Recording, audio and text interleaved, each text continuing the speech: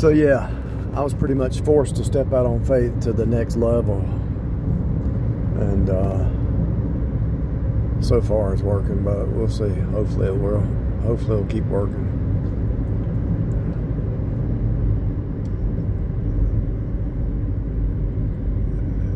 It's uh, it's always a process, right? I was thinking, you know, if you if you lived on the coast, you could probably buy you a boat, or you live near a lake, buy you a boat and charter it out and do trips. Get people to pay you to take the boat out, you know.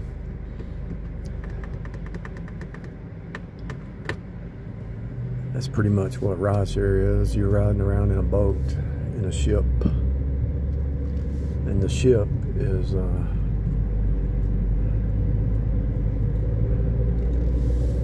always needing some repair, maintenance, or whatever. And you just got to plan for that. And don't let it discourage you. It's true with any kind of business. There's always an expense. There's always expenses.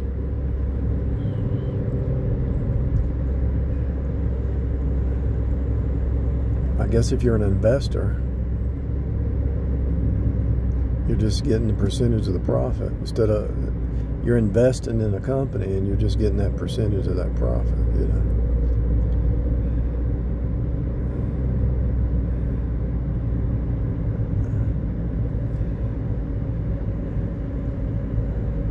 Life's a trip.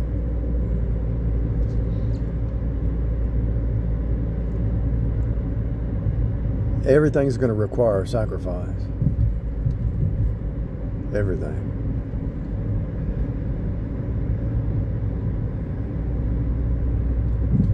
And uh, it's not always going to be fun, fun and games, you know.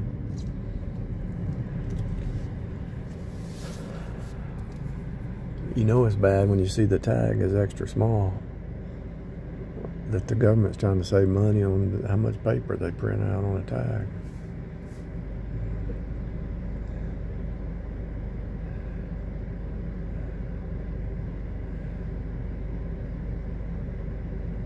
Let me put this on pause for a second. I'm trying to invent something with some pallets for like an internal, uh, some kind of internal craft for a remodel that but the pallet can't take up so much space. You know, I don't. I don't know if I can build a wall. I might be able to build a wall. I don't know yet. Not really sure what I'm gonna do yet.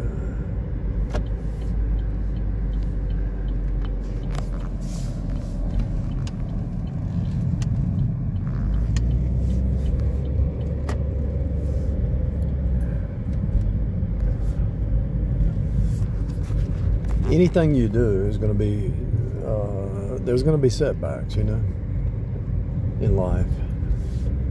Everything anything it's not heaven on earth. If it, you've got to have the resistance to make you stronger anyway. The resistance makes you stronger. If you don't get stronger what happens? You go down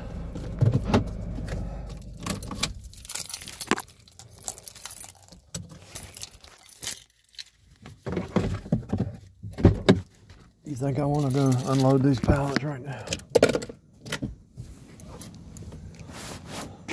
After working 50 hours already. No, I don't.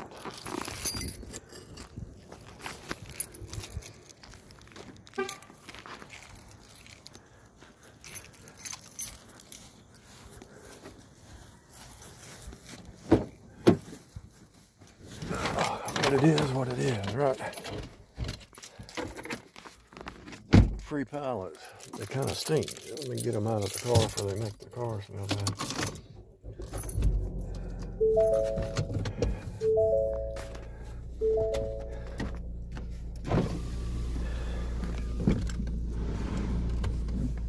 Anyway, so I don't care what it is. I don't care if it's a job. I don't care if it's learning a new trade. I don't care if it's uh, learning how to think different. If you're especially renewing your mind and becoming a new creature, that's a that's a rough that's a rough road to be honest with you.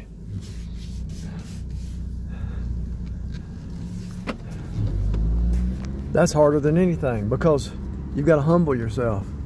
I had a I had a disagreement with a renter, but I had to humble myself. And I called a mediator just because I didn't want to. Uh, I paid a mediator to help out on that situation. Seems to be fine now.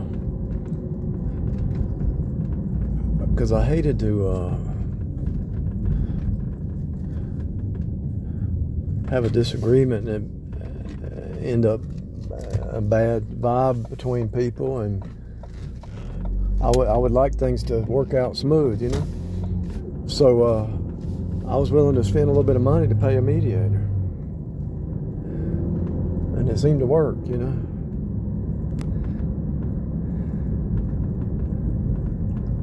I didn't really need one, but I was just tr- so stressed out at the moment doing some other stuff. I just had to call and get somebody I know to help out, who I know, who I knew was trained to deal with that kind of thing. And so that was a that was a, a learning experience, you know, to to humble myself, say, okay, I think this person's wrong. I think they're out of control. They're not thinking right, or whatever. I said, let me just get them instead of you know when two people are face to face disagreeing. If there's somebody in the middle that can kind of solve it, it makes things because sometimes somebody's making a comment or a, a perspective that doesn't line up with reality. Both could be doing it, and you know, to grow, if you if you take yourself out of the uh, the heat of the battle and let somebody be the mediator saves a lot of trouble.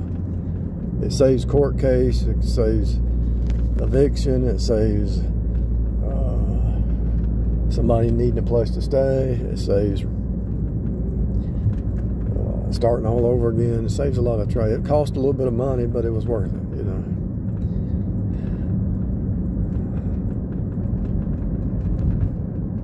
and that's the way it ought to be with a marriage. There ought to be a mediator, but it needs to be somebody who's neutral. It's hard to find people who are neutral that, that don't have some kind of prejudice, whether it's uh, the male female thing, the race thing, the age thing, the the culture thing, the every even the even the mediator has something from their past that uh, forces them to be one sided in a situation. Somebody who's poor, somebody who's rich, somebody who's. It could be disabled stuff, it could be just background, educated, non educated. I mean, there's a lot of variables there that a mediator has to deal with stuff, you know. I'm just talking. I'm just. I'm just killing time while I'm unloading these pallets.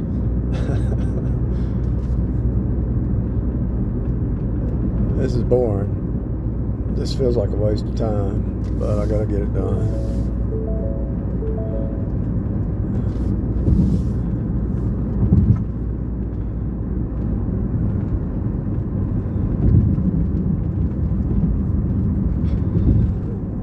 Back to what I was saying yesterday, everything is cut, turn, union, and flow. That tells you that the human experience is kind of dumb down here. If you go out here with a knife, you cut a tree and you build your shelter, and it's, just cut and put the pieces together, you know. It's all about cut, turn, union, and flow. When you see it, it's kind of depressing at first, but you realize that God made it so simple that anybody could be saved. The Word of God will cut you. The Word of God will turn you. The Word of God will bring you into union. The Word of God will give you the flow. Cut, turn, union, flow. The word cut goes back to cross. Cross cut, right? Crux. The crux of the matter is the cross. The word crux means cross. The root word. When I'm speaking, I'm speaking root words. As you unfold a root word, you get all these other words. So the four root words are cut.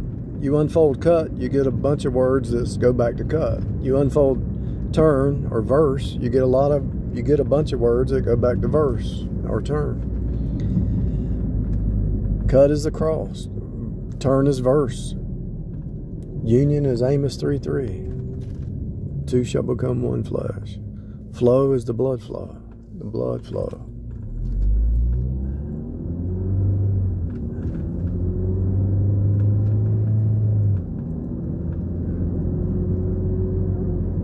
they adjusted this transmission for base. They said bait, they'd have to let me train it, see how I drive, you know. I drive kind of crazy unless I'm doing ride share, so it's not designed for me. I, I'm like a speed demon from the from the stop sign to 35 It's like I got to get there as fast as I can. Unless I'm doing ride share, it's a different story.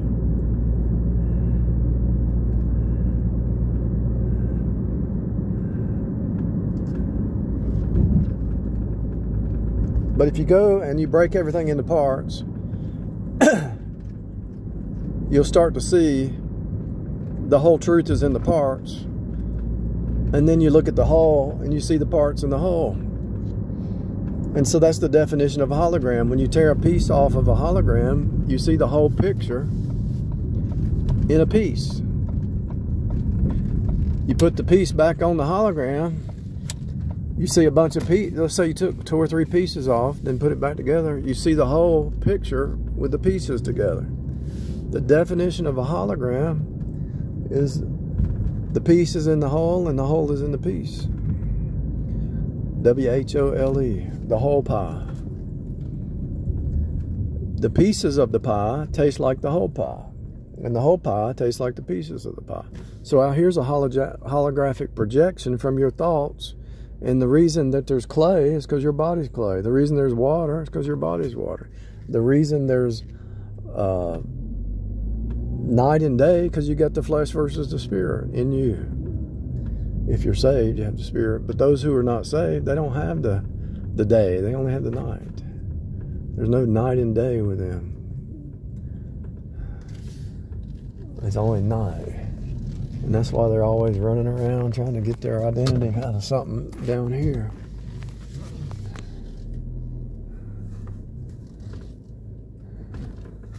I heard somebody make a comment this week that I can't really talk about right now, but I'm in shock. One day I can talk about it, but not right now.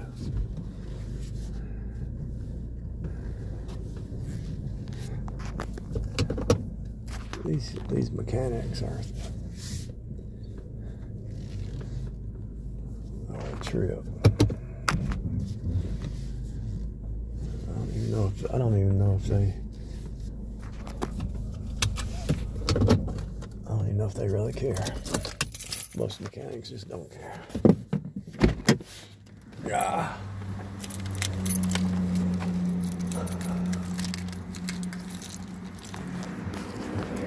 It's a hologram, people. A white truck just went by. And a silver car. There's a red car over there. What's the next color car you think will show up? Black. Let's see if the black one shows up. Black, white, and red. Is that blue or black?